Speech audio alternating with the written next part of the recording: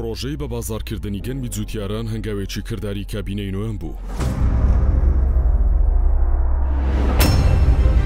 لە پێناو بەهێزکردنی ژێرخانی ئابووری و دەستەبەرکردنی ئاسایشی خۆراک لە تشرینی دووەمی ساڵی دوو هەزار و بیست دەست بە پڕۆژەی بە بازاڕکردنی گەنم کرا و ئێستا پڕۆژەکە کەوتۆتە خزمەت هاوڵاتیان و جوتیاران.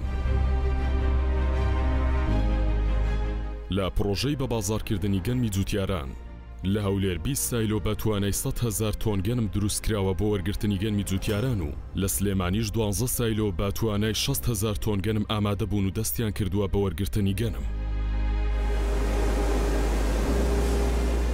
لە چوارچێوەی پڕۆژەی بەبازاڕکردنی گەنمی جووتیاران جگە لە دروستکردنی سایلۆ چەند کارگەیەکی دیکەی خۆراکی دروست دەکرێن. لەم قۆناغەدا لە هەولێر و سلێمانی دوو کارگەی ئارد دەستیان بە کارکردن کردووە و ڕۆژانە دوو هەزار و پێنج سەد تۆن ئارد بەرهەم دەهێنن.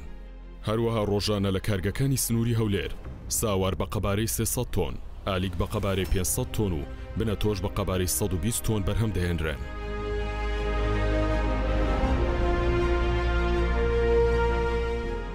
پڕۆژەی بە بازاڕکردنی گەنم جگە لە وەرگرتنی گەنمی جووتیاران و هاندانیان بۆ پێشخستنی کاری کشتوکاڵی لە گوندەکان، ڕۆژانە ڕاستەوخۆ هەلی کاری بۆ نزیکەی هەزار کەس ڕەخساندووە و ناڕاستەوخۆش نزیکەی چوار هەزار کەس سوودمەند بوونە لێی.